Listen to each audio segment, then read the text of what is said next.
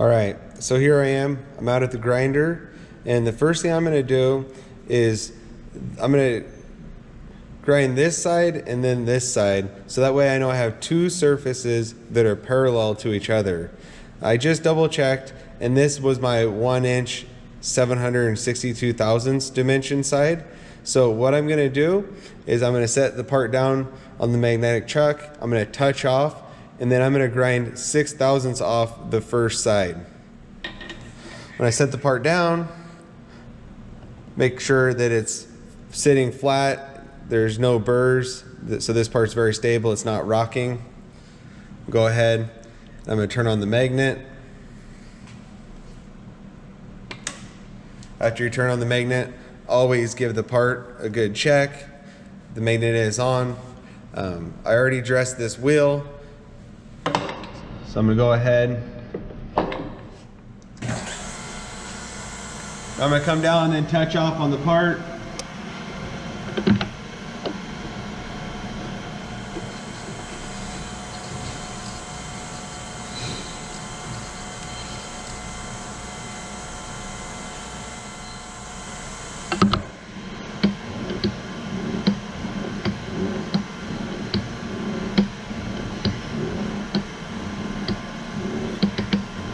Right there.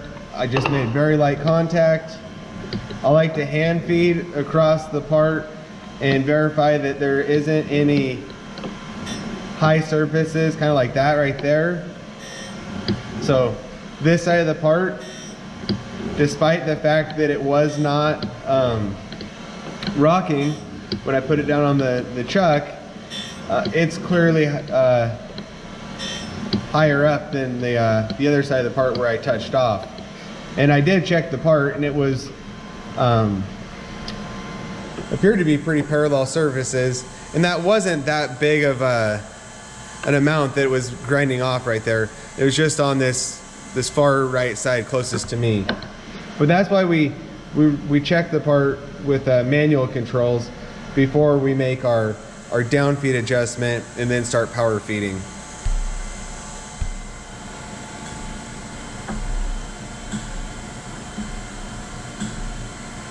So this is one thousandths. I set my stop to where I'm gonna remove six thousandths total.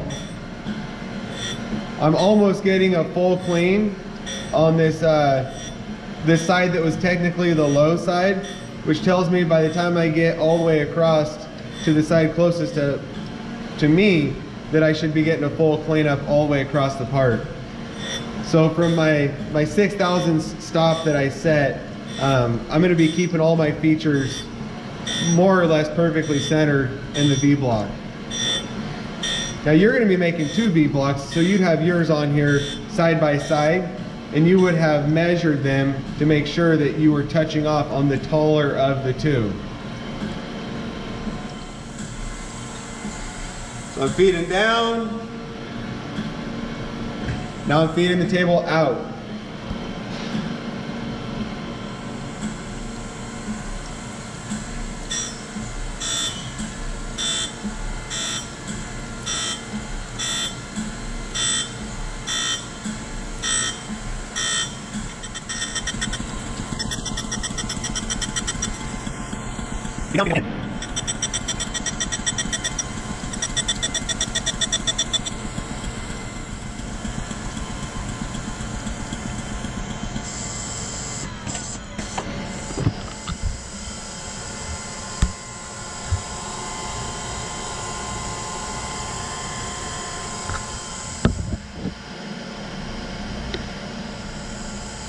All right, so right now I'm letting my wheel spin for about 60 seconds before I shut it off. I'm trying to let it free itself of all the coolant that might be in the top surface of, uh, of the grinding wheel. So um, this will help the wheel stay balanced. And after about 60 seconds or so, I'll go ahead and shut it off. I am gonna continue to run this grinder, but uh, this is best practice. We're gonna wait for the wheel to stop before we mess with the part. I just started the demag cycle. So when this uh, electronic magnetic chuck um, runs through its demagnetized cycle, this part will be easy to pick up off the off the magnet, and it shouldn't have uh, too much residual magnetism in it.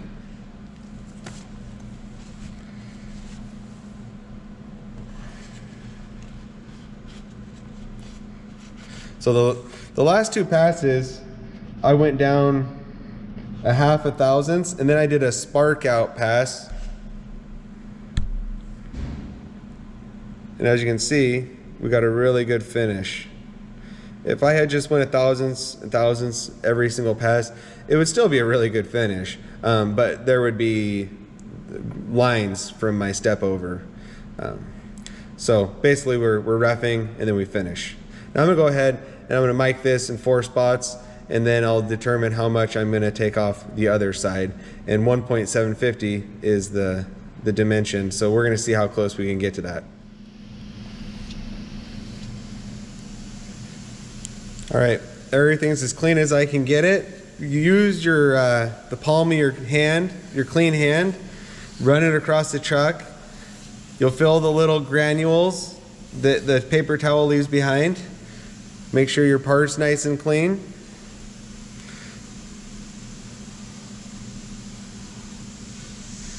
Even though I already just, just ground this, I'm still gonna give it the old tap slash rock test to make sure that it is as clean and uh, flat as I think it is. So I'll go ahead and turn on my magnet. And I'm gonna set my, uh, my zero stop for the amount of material that I calculated I need to remove.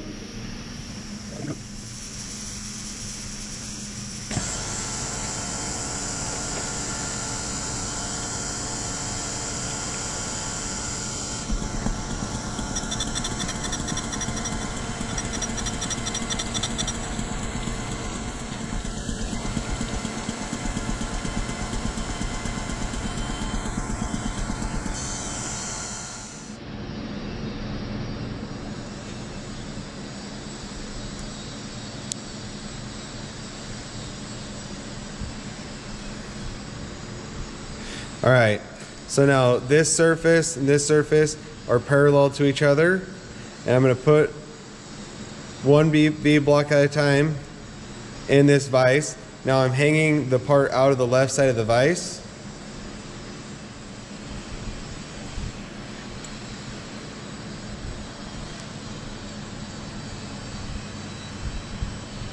and clamping down.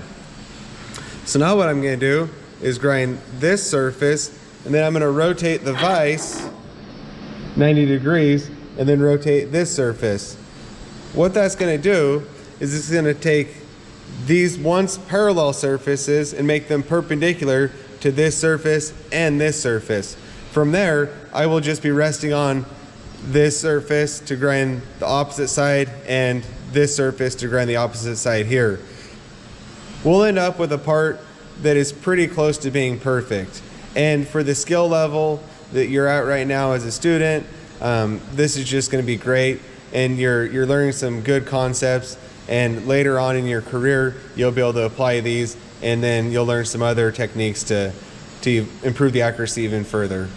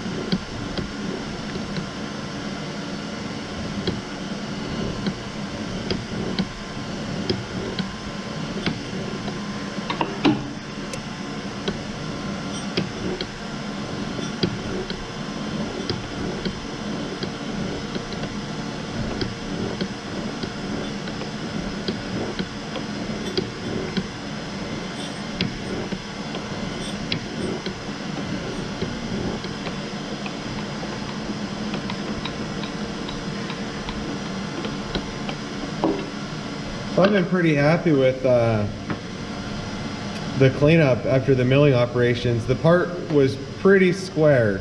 Um, I never actually inspected it like we're gonna inspect this part after the after I grind it on camera.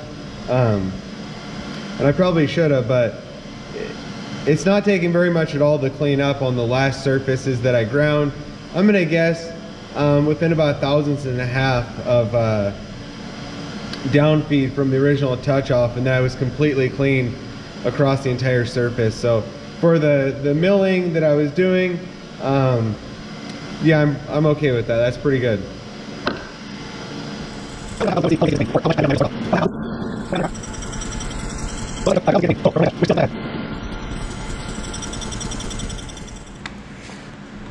All right, before I forget, so ground surface, ground surface, ground surface. Um, this this right here, actually, I put a, a big enough uh, bevel on it when I was deburring it that it's it's a very tight radius. But right here, these two surfaces, they've created a sharpest corner as you could hope to get. Um, well, nearly.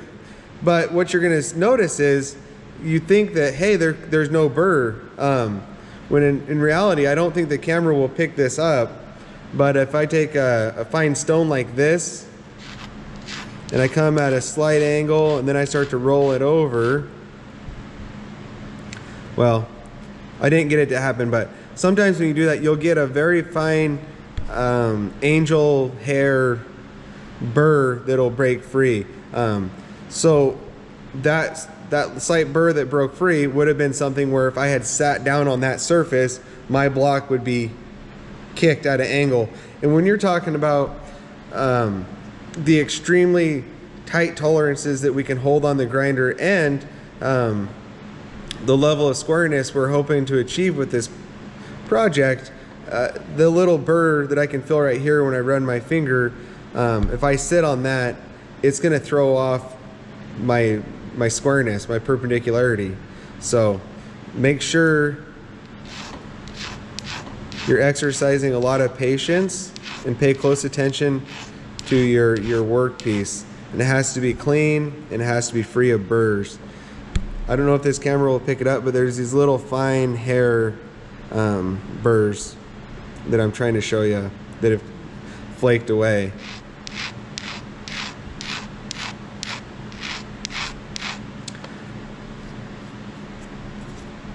So now that corner's, it's just a tight radius now. It's not a, a sharp corner.